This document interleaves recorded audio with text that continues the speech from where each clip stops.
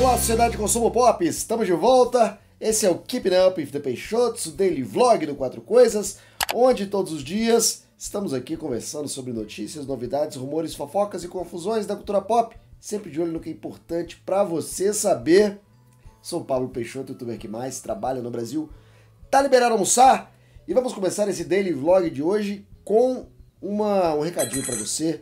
Voltamos com as lives, hein? E agora voltou a ser diário todo dia, pelo menos durante a Copa, meio-dia em ponto, meio-dia até uma, onde começa outro jogo, vai ter live do Quatro Coisas. Vamos lá conversar, reagir a vídeos e coisas bizarras da internet e também é, comentar as notícias do dia, fazer um, um, uma geral nas notícias, coisas que não dá tempo de conversar aqui no canal. Vamos conversar lá na live. E lembrando que não é aqui, tá? É lá na roxinha, que eu vou deixar aqui em cima, para você já assinar e já correr para lá meio-dia. Tá bom? Então os vídeos de daily vlog aqui no canal vão um pouquinho mais cedo, devem sair lá para as 11h30, 11 horas. Meio-dia já sabe. Preparou o prato, tá liberado almoçar comigo todo dia, meio-dia, lá na Twitch. E é isso aí, vamos começar a história de hoje então, nesse domingão, a abertura da Copa hoje, todo mundo animado para começar, assistir jogão do dia. E aí, né, estraga o meu dia finalmente. Recebi de madrugada várias vezes. Pop Funko mais uma vez, né? Pop Funko mais uma vez entregando os personagens, entregando a, o design de alguns personagens. E desse aqui que eu custei para acreditar quando vazou um desenho, um desenho conceitual que seria o Modok. Né? O Modok estava parecendo um chaveirinho. Né? O Modok é o único Pop Funko que não precisou passar por redesign para virar Pop Funko. Ele já era um Pop Funko. E é claro, a empresa Pop Funko, que faz parceria com cinema, com várias com vários filmes, não ia perder essa chance de fazer esse personagem. E ao que parece, que fotografaram aqui, custando 16 dólares, Pop Funko do Modok Modok que, pelo visto, vai ter uma origem completamente diferente dos quadrinhos, muito menos trágica. Parece que vai ser alguma criatura bizarra lá dentro do, do mundo quântico. A gente tem já algumas informações sobre o que, que pode ser o roteiro desse filme, da sinopse. Tem aquela especulação de que é o Darren Cross, que é o vilão jaqueta amarela do primeiro filme, que você, se você lembrar, ele não morre necessariamente, ele é diminuído e ele é banido para o reino quântico. Então a ideia, que a gente não pode confirmar, mas a ideia é que o Darren Cross vazou pelo mundo quântico e ele foi restituído, reconstituído com essa armadura. Ele ficou prisioneiro dentro dessa armadura do Modok. Provavelmente pelo Kang ou por alguém ali da, da cidade dentro do, do Reino Quântico, aquela cidade que é, que é liderada pelo personagem do Bill Murray, que está no trailer, apareceu no filme já. E aí vai ter aquela grande revelação, né, de ser o Darion Cross. Então eles precisavam de uma máscara. Eles precisavam é, manter em sigilo essa informação de que o Darren Cross é o Modok, então colocaram a máscara no personagem e tiraram a humanidade do personagem. Porque o Modok tem essa coisa daquele rosto deformado, aquelas pernas e braços pequenos, aquele cabeça gigante, aquele cara super inteligente. E tudo bem, o reino quântico, o próprio, as próprias partículas PIN podem ter deformado o corpo do Darren Cross, ele precisa daquele uniforme para sobreviver, daquele, daquela armadura, faz sentido. E, e, tem uma revelação no fim com a cara dele deformada, esse é bem interessante também. A partir daí não precisa mais usar máscara, que não precisa mais fazer surpresa pro público.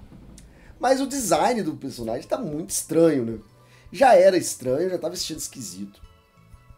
Os olhos vermelhos e a armadura toda dourada bem estranho mesmo. Um bicho CGI, um robô CGI, um droid. Hum, me dizia nada, não me dava nenhum senso de, de emoção, ou de drama, ou de tragédia. Parecia só um robozinho. Dizem também que vai ter uma relação meio Starscream com, com o Kang, né? Que ele vai meio que ser aquele aliado, braço direito, que quer trair o tempo todo. E depois o, o, o, o Modok acaba sendo banido pelo Kang também. E tem esse Pop Funko, que apresentou um detalhe que eu não tinha reparado. Parece que a boca se mexe. Porque o sorriso dele aqui, os dentes né, do, do Modok, estão em um formato diferente daquele que vazou. Daí eu concluo que se não houve um redesign, porque dá tempo, uma, é uma, como é um personagem em CGI, eles podem estar mexendo nele agora, é, parece que essa boca vai ser móvel, parece que ela vai se mover, mexer de alguma forma, porque ela está em desenhos diferentes. O que para mim fica pior ainda. Fica pior ainda. O personagem fica menos estático, né? Pelo menos ele tem alguma expressão nos lábios, se não, não, tem no olho, se não tem no rosto. Mas para mim ficou mais patético, ficou mais triste. Para um filme que, apesar de ser do Homem-Formiga, eu entendo que seja do Homem-Formiga da Vespa, e, e, e, um filme que tem um histórico de quase uma comédia né, de, da Marvel, é, como a maioria dos filmes da Marvel, né, tem mão pesada para comédia, mas o, o Scott Lang é aquele herói fracassado, ele é aquele herói de segunda linha, ele é chamado de Homem-Aranha, então tem, ele tem essa, essa energia. E os vilões também podem ser ter, ter, a mesma, o mesmo estilo. Mas como tem o Kang, o Kang é um, é vilão que está sendo aguardado para ser o grande vilão das próximas fases, Dinastia Kang, o cara que vai dominar o tempo, multiverso, guerra multiversal, guerras secretas, da saga multiverso. É, eu tava esperando um Modok um pouco mais, um pouco menos, menos caricato, menos esquisito. Desde que vazou a imagem, eu custei para acreditar. Acho que é o quarto ou quinto vídeo de Modok que eu tô fazendo aqui, discutindo é, esse personagem. E agora vocês parecem que gostam de me ver sofrer, né? Eu já tinha me convencido que era. Ele aparece no trailer daquele jeito, bem, bem semelhante ao vazamento. Então a gente já praticamente pode cravar que é o Modok, que é daquele jeito e é daquela com aquela com aquela versão de adaptação. E agora o Foc, o Foc Pumpo, o Pop Funko vem é, confirmar essas essas dúvidas. E vocês me mandam aqui para estragar meu domingo para poder ver essa criatura horrenda, bizarra aqui, 16 dólares, que é parece que já para já ter brinquedo, né, cara, para já ter um negócio já na loja praticamente com preço a gente já pode considerar que essa é a forma final, a versão final do personagem. Espero que no fim do filme essa coisa aconteça, da máscara sair, de dar pra ver o rosto, porque eu acho que o Modok bizarro, quanto mais bizarro, melhor. Ele como um robozinho de chaveiro, não acho tão legal assim. E é isso que eu queria conversar com vocês. Esse é o nosso assunto de hoje. Muito obrigado por assistir esse vídeo.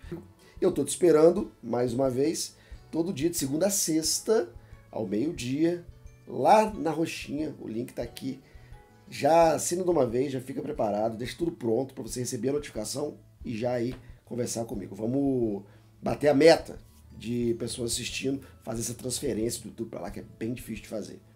E é isso aí. Obrigado, até mais, até breve, até já. Tchau.